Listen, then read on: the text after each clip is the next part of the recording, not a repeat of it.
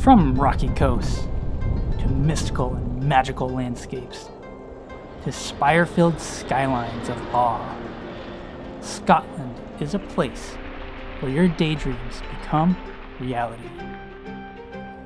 Join me on this Scottish road trip and series as we drive through the country, hike unreal landscapes, check out famous sights, and take a walk through the city. Welcome to Cy's Scottish Road Trip.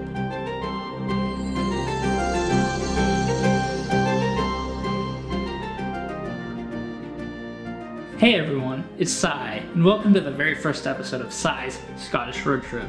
We're heading across the pond to the beautiful and romantic city of Edinburgh, Scotland, where our journey begins. Upon arrival, we're renting a car and hitting the road pretty quickly to the mysterious town of Glencoe. So come along and explore magical Scotland on Cy's Scottish Road Trip. After only a few miles, the beauty of the Scottish countryside was already captivating.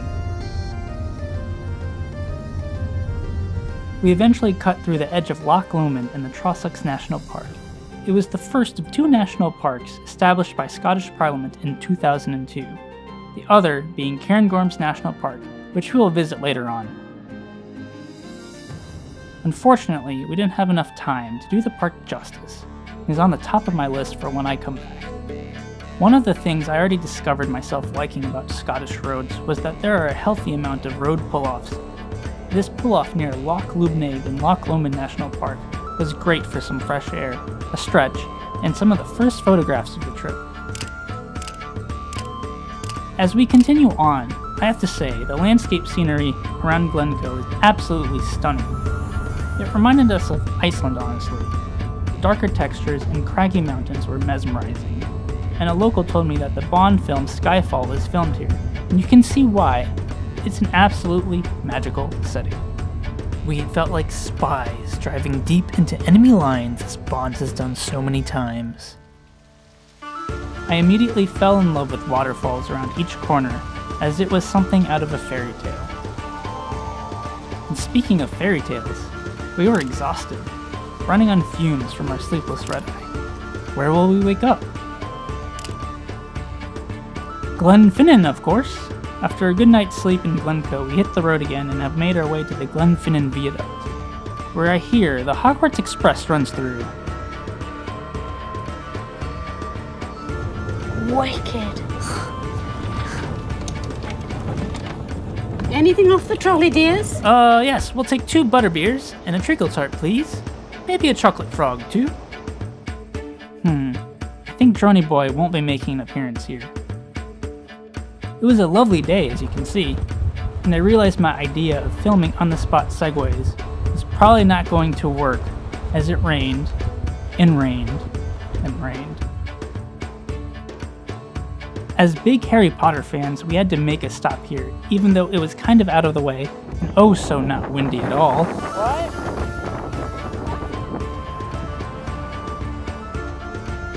but we still had a lovely hike around the viaduct and saw great views of Glenfinnan and Loch Shiel. I hope I'm pronouncing that right, and I apologize for butchering any of the pronunciations. I'm really trying my best here. The hike is about 3 miles in distance, and you can even hike to the Glenfinnan train station, where there is a permanent dining cart.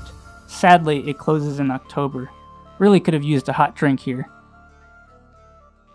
Glenfinnan is also known for being the area where the 1745 Jacobite uprising began, as Prince Charles Edward Stuart, or the Bonnie Prince Charles, rose his standard on Loch Shiel and began his march to try to reclaim his right to the throne.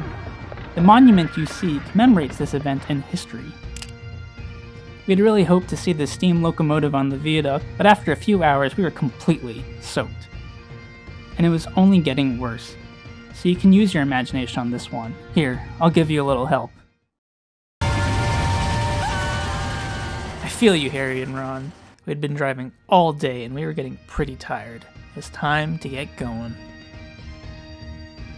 Our last destination on the road is a little quick dusk visit to the Eilean Donan Castle. It is Scotland's most photographed and visited castle, and sits at the confluence of three lochs honestly it was incredible to look at. The original castle was built in the 13th century and was a stronghold for Clan Mackenzie and Clan MacRae, but was destroyed in 1719 for the clan's involvement in the Jacobite rebellions of that time. The castle you see here is the 20th century reconstruction of the old castle. I thought it was really cool, and it's definitely worth a stop if you ever get the chance. And that about wraps up day one in Scotland. We're hitting the road once again, and we're heading towards the mysterious and moody Isle of Skye, where some famous landscapes and moody hikes await us. Be sure to check out episode 2 of Cy's Scottish Road Trip. I'll see you there.